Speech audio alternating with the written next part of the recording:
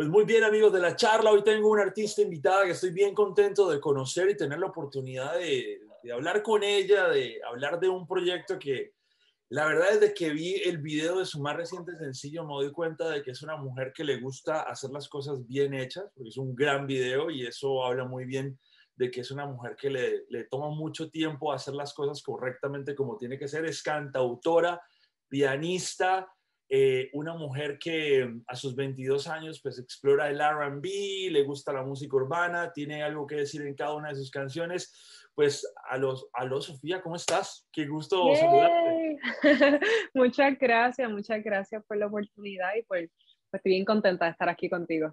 Bueno, pues eres una de esas personas que he tenido mucho la inquietud desde que me mostraron tu proyecto de hablar contigo, porque pues no cualquier persona eh, es cantautor o sea que tiene una sensibilidad bastante particular, pero también es una persona joven que ha nacido en una etapa de la música latina bastante interesante, ¿no? Háblame un poco de esa mujer puertorriqueña que nace en un ambiente muy, muy, muy de música urbana, pero que al final de dudas agarra su piano y en tonadas de baladas empieza a componer sus canciones.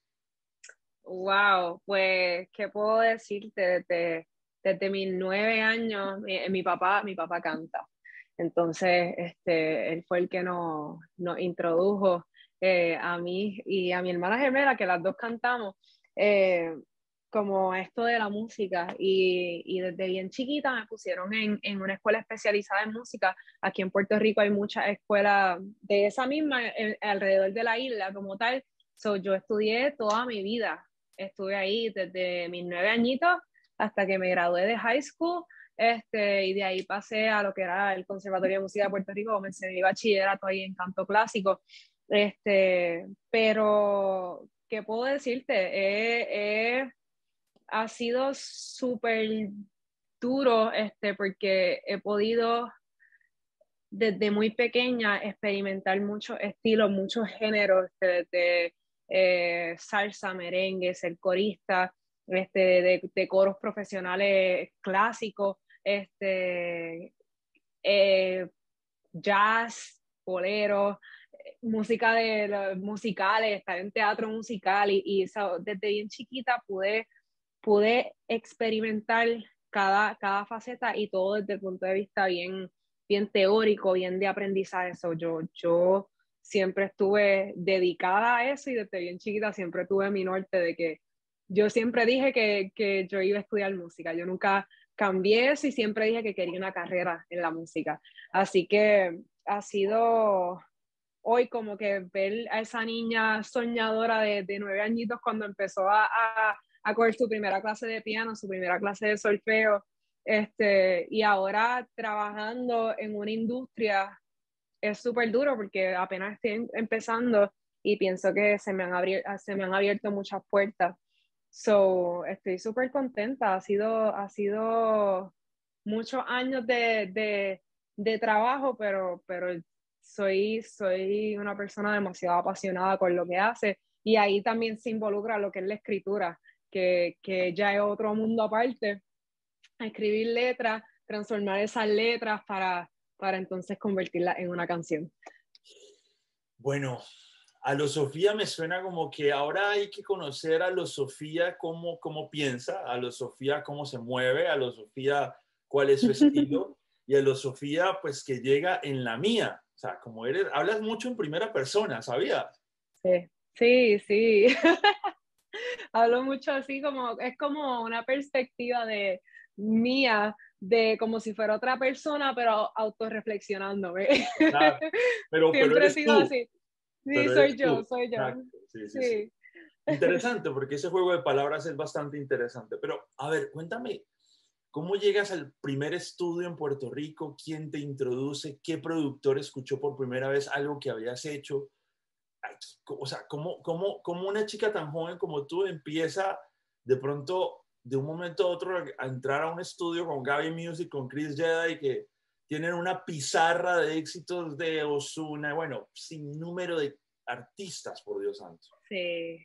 Pues yo, la primera vez, yo había pisado estudios anteriormente, pues en, mis tiempos de, de, cuando estaba en la escuela de, de música, los profesores mismos me iban refiriendo cuando ya estaba más grandecita este, a que si una orquesta de salsa de aquí mismo de Puerto Rico necesita una corista para esto en el estudio, pues iba al estudio. Nunca había pisado un estudio sola hasta el 2019, que entonces mi manejo, que es ID Loyalty Entertainment, mi manejador Omar me, me, hace el acercamiento, el approach, este, para, para hacer eh, como, o sea, comenzar mi, lo que es mi carrera como solista. Entonces, este, la primera vez que pisé un estudio aquí en Puerto Rico como solista fue en el 2019 en, con Charlie Night City, eh, un estudio en San Juan, en Santurce, y esa fue mi primera vez ever, cantando sola. Eh, empecé, comencé cantando un tema que fue el primero que lanzamos, Vuelta Atrás, hace, en el 2020. Eh, en la pandemia. vuelta atrás es en la pandemia, literalmente un mes antes de la pandemia, so ahí, ahí es que vino todo, todo es una historia larguísima. O sea, antes del apocalipsis, antes sí, del apocalipsis. Sí, No, y tiramos el primer tema y literalmente un mes después fue que vino el, el lockdown. So, tuvimos que parar, no paramos de trabajar, yo seguí yendo al estudio, pero en el lockdown es que yo empiezo a mostrarle a Charlie, que era eh, eh, quien me, me, produce aquí en Puerto Rico, le empiezo a enseñar a Charlie mi música escrita por mí. Yo nunca me había atrevido a enseñar lo que yo escribía. Este, so ahí es que empieza todo esto, le empiezo a enseñar y, y entonces yo iba todas las semanas en el lockdown y le llevaba dos, tres temas, dos, tres canciones completas escritas a piano y voz solamente, porque yo escribo, todo lo escribo así.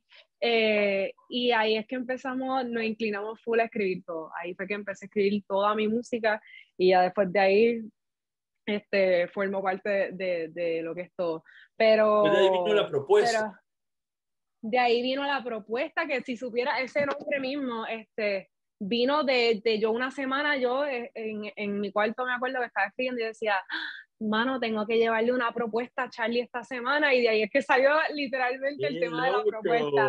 Yo dando acordes en el piano, este, y, y, de ahí fue que saqué la propuesta, ok, vengo con propuesta, sin indirecta, sabes que me tienta, así que fue, fue, fui desglosando ese tema. ¿Cómo, pues, darle potencial a una situación y hasta de pronto una preocupación? Dios, tengo que hacer una propuesta, ya una sí, propuesta. sí, no, tenía un par de canciones escritas, pero cuando tú empiezas a escribir tu música, o sea, yo siempre había escrito, nunca había enseñado mis canciones, o yo tenía mucho más presión porque yo quería que lo que yo les estaba enseñando les gustara tanto a mi equipo de trabajo, el, al equipo completo. Yo quería que les gustara lo que, lo que, lo que les estaba llevando y yo soy, a mí me encanta contar historias. así que de ahí fue que, que, que, surgió esa idea y yo, y yo tenía una presión ahí y terminó saliendo eso. Me encanta, me encanta porque todo ha ido pasando de una manera tan orgánica, pero tan natural. De pronto el lockdown de la pandemia fue necesario para tú también explorar muchas cosas interiormente. definitivamente. Y de ahí fue que salió el tema que Jambi trabaja mucho en ese estudio, este, y de ahí fue que surgió la colaboración con Jambi. Y de ahí fue, ahí se me empezaron a abrir más puertas. Fabián Eli escuchó mi proyecto, le encantó el proyecto, comenzó a apoyar el proyecto y a trabajar junto con mi manejo. Este, so, eh, de ahí fue que empezó a partir todo y a, a, comenzaron las puertas a abrirse y a que más personas me, me empezaran a reconocer y a, y a conocer un poquito más de mi trabajo y de quién era yo precisamente. es interesante que nombres a Fabrián, que pues ha hecho un gran trabajo con, con Anuel y que, y que pues, sin lugar a dudas ha hecho un gran trabajo y siempre tiene como un gran oído para pa, las canciones, ¿no? Entonces me imagino que también cuando sales del estudio le mandas las canciones a Fabrián y a tu equipo de trabajo, pero también pues es importante eso del equipo de trabajo, que muchos artistas no lo, no lo imaginan, pero la unión hace la fuerza, ¿no? No, yo, no, yo misma no sabía, como que yo, yo cuando, cuando comencé la primera vez que hice el, estudio, yo no, nunca lo había conocido desde la perspectiva de, de, lo que conllevaba una carrera. No es lo mismo tú estar toda la vida estudiando, estudiando eh, y dando conciertos este, por ahí con, con, con, lo que es la, la escuela o la orquesta con las que cantaba, eh, a tú hacer tu carrera. Es, es muy, muy distinto, es algo que lo ves desde una perspectiva, te cambia completa la perspectiva de lo que, de lo que conlleva. Bueno, y también creo que uno no llega fácil a un director de videos tan popular como Fernando Lugo, bajo la recomendación de, Fran, pues seguramente claro, sí, sí. allí todo, todo, todo empatiza, pero la gente no imagina porque también llegar a estos directores no es fácil, ¿no? Pero ¿qué tal trabajar con un tremendo director que ha hecho los videos de sin número de hits de la música urbana y pues ser como un precedente de un parteaguas para que la gente empiece a saber más, porque estoy seguro que ya hiciste varios videos, estoy seguro que lo que viene es música, estoy seguro que lo que tienes es, que en la mía es como un abrebocas de muchas cosas que se vienen, ¿no? Definitivamente. Este, el trabajo con Fernando Lugo fue, wow, a mí me encantó.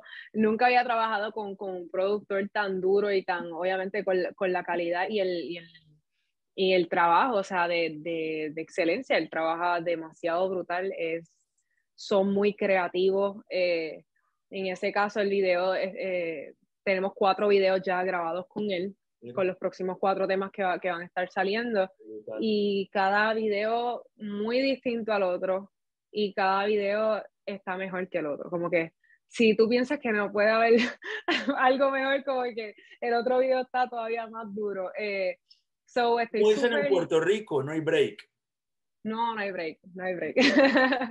este, son, son, fue un, un equipo de trabajo muy grande, son todos excelentes, el trato, fue todo una experiencia súper brutal, como que Estuvimos, me acuerdo que estuvimos una semana completa grabando todos los videos y, y la experiencia completa fue, fue súper dura. Estoy loca ya por grabar más videos con ellos. Así que, y ellos también han estado súper, fueron muy atentos, le encantó el proyecto porque ellos escucharon el proyecto y, y están ahí apoyándolo, que, que eso vale también. No, que más allá de, de, de, grabar un video nada más, ellos están ahí apoyándolo. No, y el video, el video quedó buenísimo, el eh, la textura del video, la historia, los colores, el Blu-ray, está, está espectacular. La verdad que Gracias. un gran trabajo y me imagino que los que vienen pues no, no desestiman lo que viene. ¿no? Está muy duro. Está no, muy, hay break, muy, no, hay break, no hay break, no hay break. No, Sofi, te puedo decir Sofi o, bueno, tengo que decirte a, a lo Sofía para que la gente me Puedes decir, sí, claro, me puedes decir Alo también, como tú quieras. Bueno, estamos viviendo un un tiempo bastante interesante en lo que les está pasando a las mujeres latinas en la música. Siento que siempre íbamos a hablar aleatoriamente, ¿no? De Gloria Estefan. Bueno, pasó un tiempo, primero fue como Selena, después Gloria después Shakira, después, ¿me entendés? Pero eran como artistas pop que paulatinamente iban pasando. Hoy en día las mujeres, gracias a la industria de la música que ha ido transformando su mentalidad, tienen un lugar muy importante en el juego. Está Carol, está Becky, está Nati Natasha, está Mariah, está, bueno, hay un sinnúmero de artistas que están haciendo grandes cosas y también es un momento importante en el que el empoderamiento de la música eh, te da un lugar importante. ¿Tú cómo te sientes de llegar justo en este momento donde siento que la mujer cada vez tiene una voz más imponente dentro del género?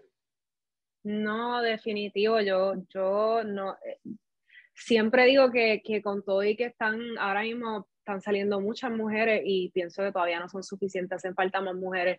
Este, el, para mí es, es importante porque dentro de lo, que, de lo que yo hago, yo siempre estoy pensando en cómo yo aporto, que yo, que yo, que yo voy a aportar con la música que, que, que yo hago y, y cómo, de qué forma, pues, pues uno siempre tiene que hacer poner su granito de arena y es, es como tú dices, un momento bien importante con lo que es el empoderamiento de la mujer y para mí es muy importante tener siempre un propósito y un enfoque porque mi música es lo que va a poder aportar este, dentro de, de lo que es eso, el compañerismo. Me, me encanta que, que, estén existiendo muchos juntos entre mujeres. Yo estoy loca por trabajar con, con, con alguna de las nenas me encantaría, así que ese es, ese es como que en estos días, ese es mi, mi focus, quiero trabajar con, con, con una chica, este, so me siento, me siento responsable y me siento, y me siento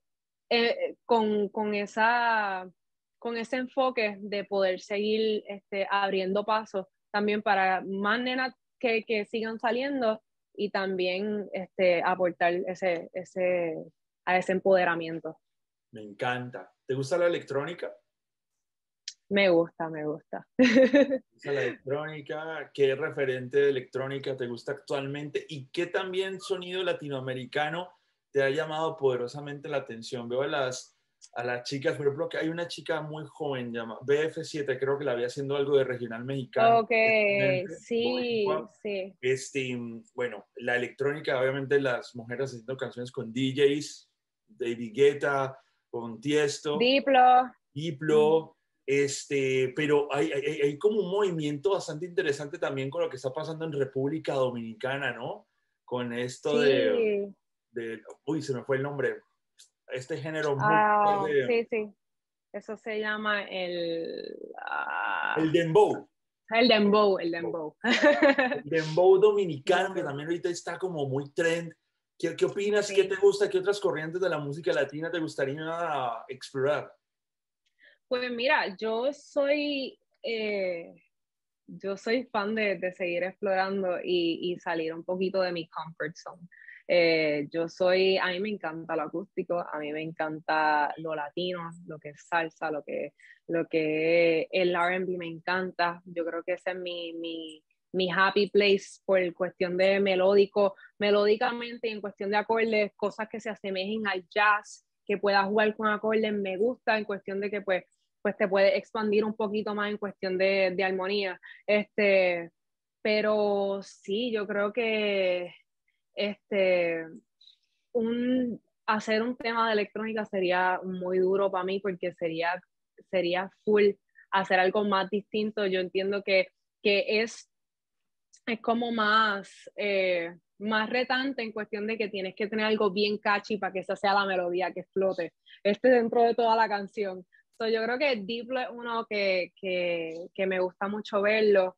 Hay, hay algunos, este, está Clean Bandit, que ellos no hacen electrónica específicamente, pero son, eh, son personas que sí han trabajado lo que es estilo y siempre rompen. Para mí, para mí ellos son súper top.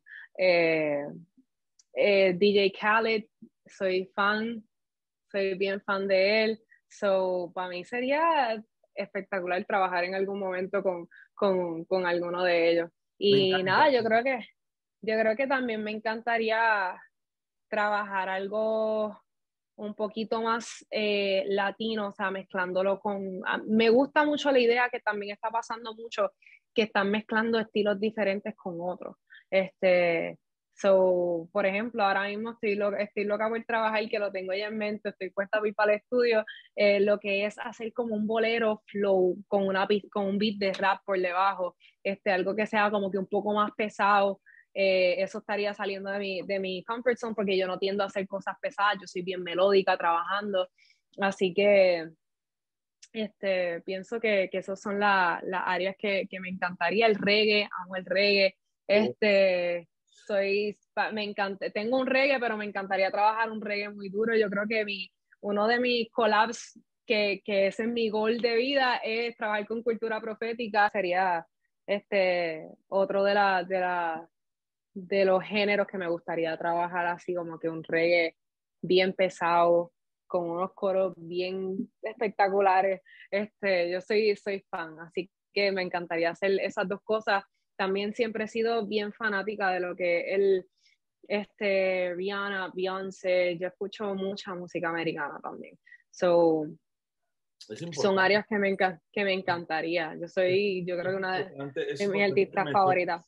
Es importante que menciones esa influencia porque yo siento que mujeres como, como Beyoncé o Rihanna son como canales de inspiración para muchas mujeres que quieren entrar en el juego del pop, ¿sabes? Sí, R&B, una Alicia Keys, por ejemplo. Y lo que Alicia Keys es muy dura. y lo que mencionabas de cultura profética no es para nada eh, algo que me llame la atención de, oh, qué raro, no. Hace un par de semanas estuve en Puerto Rico por primera vez en mi vida, nunca había estado y me enamoré de, de, tu isla. qué bueno, qué bueno. y me enteré estando en Puerto Rico de esa cultura reggae que hay dentro de Puerto Rico también, que es bastante imponente.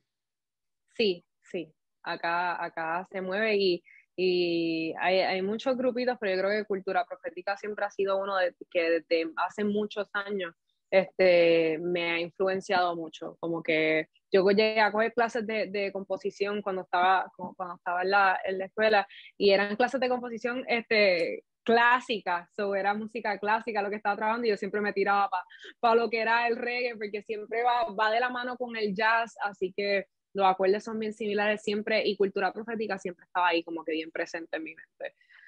So, siempre he tenido una, una admiración bien, bien grande. Bueno, pues a lo Sofía tiene que decirnos eh, musicalmente que viene, bueno, acabas de, de, lanzar tu más reciente sencillo que está increíble, ya nos acabas de ticiar que vienen otros nuevos videos con los nuevos sencillos, pero, pero ¿qué traes en puerta que, que viene con Alo Sofía? Pues mira, este, tengo muchos temas que van a salir este año, por lo menos terminamos eh, este, lo que queda de año, queremos salir, sacar música de cada cinco a ocho semanas, así que lo próximo viene bien pronto, eh, los días van corriendo, así que eh, por lo menos en los próximos temas todos son muy distintos a, a todos mis temas se, se se desligan en cuestión de que todos son bien distintos. Entonces, este próximo es un tema que, que a mí me encanta, eh, es un tema que musicalmente es muy grande, tiene trompetas, tiene, tiene un beat de RB ahí con una guitarra bien espectaculares haciendo melodías. Eh, es un tema que, que, hace como una pequeña referencia a, a, a un, una canción mexicana este, bastante eh, vieja, este, o sea, bastante de hace un par de años, así que yo sé que, que, va a ser un tema que me va a identificar mucho también en lo que, en quién soy y en lo que hago musicalmente. Eh, los próximos son un dancehall, tenemos un trap, tenemos colaboraciones, así que eso es lo que lo próximo que va a estar viniendo y estamos ya terminando ahí de, de, de trabajar lo que próximamente un álbum. Bueno, pues estamos muy eh, contentos de haberte conocido aquí en la charla. Gracias por tu tiempo. Eh, Alo y a los Sofía tienen que estar muy pendientes en todas las plataformas digitales para que vayan, escuchen la música, la, la, que ha salido hasta el momento, pero pendientes de lo que viene. Importante que se suscriban a cada uno de sus canales de distribución de música, que vayan a su canal de YouTube y estén muy pendientes porque estoy seguro que como estás haciendo las cosas de bien, vas a seguir haciéndolas de la misma manera y vamos a estar amén, amén. en tu carrera. De verdad que sí. te sí, muchas gracias. Muchas gracias de verdad por, por, por, tenerme aquí. Me encantó, me encantó conocerte y hablar contigo. Así que nada, estamos activos y que me sigan en las redes sociales y sigan escuchando el tema y disfrutándolo.